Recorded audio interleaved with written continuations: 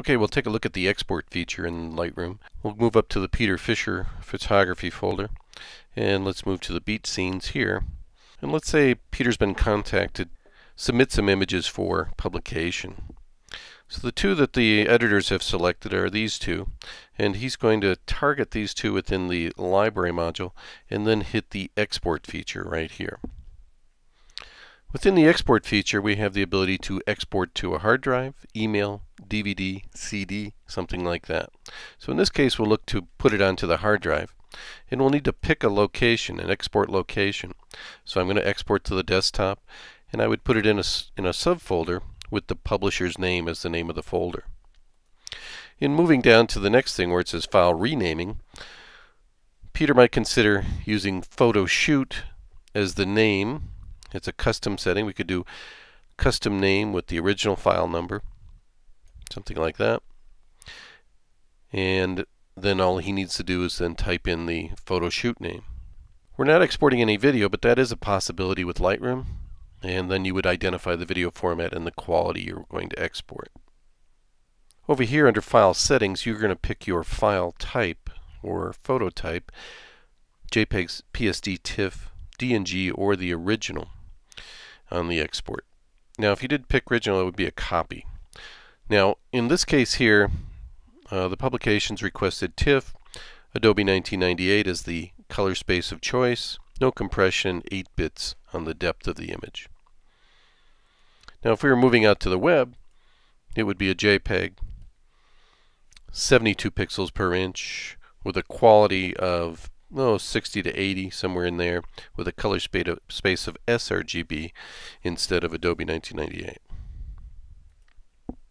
Image sizing. In this case here, we would not check resize to fit, but if the request was for resize to fit, let's say a 7 inch dimension on the long side, we can easily set that up right here and pump in the 7 inches and the resolution at 300 pixels per inch. We'll turn this off for the, the um, preset that we're creating here. Output sharpening.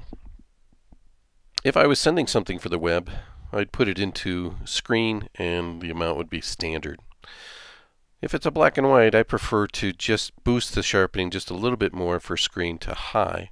But seeing that how this is going for print, and we don't know what surface they're printing to in the magazine, we'll just leave it blank and let the um, page layout people work with the print sharpening for the specific substrate that they're printing to on the offset press. Under metadata, in my case here we'd say copyright only or copyright and contact information. Either one of those work well. I probably wouldn't send them all the metadata associated with the image, just the copyright in this case in the submission to the magazine. Watermarking is great. It's a great tool if it's going out to the web. You can create your own watermark. So let's go in here and edit Peter's watermark. And basically what we've got is a copyright symbol that we can add here with Option G on the Mac and a little space there. And we can pick the typeface that we want to work with. We could even put a drop shadow in if need be. And we might anchor it someplace within the image. I prefer the lower right in this case. I probably wouldn't use it for submission to a magazine. I'd use the copyright feature on my images when they're sent out or exhibited on the web or the internet. Another feature is that you can put in a graphic in the upper right hand corner here. You can place a graphic, maybe your logo of your business, something like that. And that way it then becomes a preset if you like to save it as a preset and save current settings as a new preset which I've already done. And so I have my simple copyright or we have Peter's copyright here.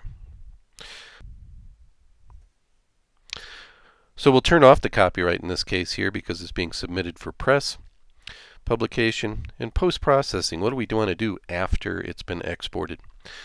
So in the feature here, we say show in Finder or show in Explorer on the PC, it will, once it's finished the job of exporting the images to the specific location, it'll open it up in the Finder and we can check to see what, that it's in there. We could then maybe download it to a thumb drive. Now if you've gone to all this trouble to create the presets, notice that we've got the location, We've got a special naming feature. We've got um, the setting for TIFFs and 300 pixels per inch, sharpening off, minimizing the metadata so that we only have copyright information, no watermark, and we're going to show in the Finder. If we go to this trouble to create all these parameters, let's save them as a preset. So you'll come over here, lower left hand corner of the box, you'll hit the word add. In this case here, you can pick a folder to put it in. I've created this folder for Peter and his submission process. And we could title the preset, in this case, Publication Photo Submission and hit Create. So look up here into the left-hand corner, we've got Peter Fisher Photo Submission presets, a special folder, and Publication Photo Submission, and Web Photo Submission. So we've got two different parameters if we look down the list for web and one for print. When we hit the export button, we'll export these images immediately to the desktop. You can see the upper left hand corner will show us the export taskbar and there are the two images as TIFFs in my desktop in a folder called publisher name. Okay, that'll end this segment on the export dialog box.